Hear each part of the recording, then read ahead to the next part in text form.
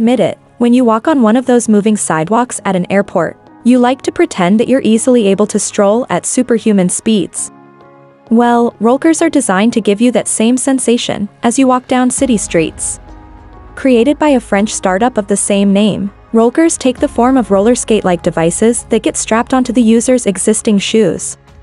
Instead of simply having wheels on the bottom, however, they have motorized rollers covered in conveyor belt-like rubber tracks. Because the Rollkers bend in the middle to facilitate normal walking, each one has two tracks, one in the front, and one in the back. Onboard sensors and other electronics detect the wearer's current walking speed, and respond by activating the motors in order to double that speed, up to a limit of 7 miles per hour. This means that they only roll as the user is walking, if the user is just standing still, the Rollkers won't carry them forward. Additionally, because the sensors can determine where within the stride each roller is at all times, the output of the motors is adjusted accordingly, to maintain user stability. They reportedly weigh about 4.5 kilograms or 10 pounds per pair, and should be good for about 30 minutes of use per charge of their lithium-ion batteries.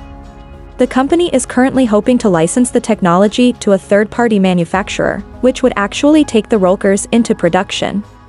The estimated retail price is approximately $700.